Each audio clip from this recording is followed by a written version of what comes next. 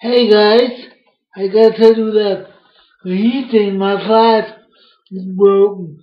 And it's cold as fuck. I'm really freezing. Damn cold here. What the fuck? Bye.